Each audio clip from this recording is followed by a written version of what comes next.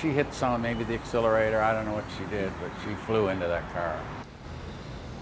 A car whizzing down A1A in Fort Lauderdale going the wrong way slams into a parked vehicle, pushing it into a hotel pool. I thought maybe she was just in a hurry to get out of the way when she saw the cars coming, but I don't think she knew where she was going.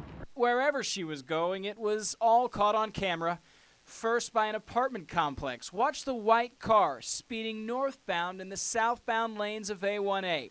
Slow it down here. The black car is pulling into a parking spot. A head on collision narrowly avoided.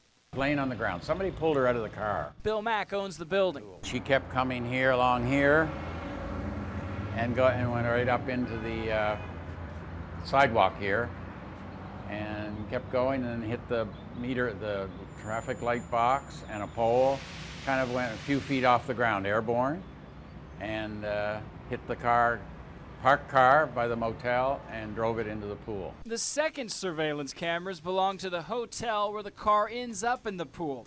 They pick the runaway car up just as it smashes into the traffic box and then rams a parked car, never even tapping the brakes. So the fence, these giant potted plants, not even this half foot curb, any sort of match for this car which comes careening all the way through down to the bottom of the pool. Took a crane to lift the car out and the pool just a mess. Half a tree left floating. Only way to clean it, drain the whole thing. In the end, this driver ended up in the hospital. She's lucky though, no one was killed.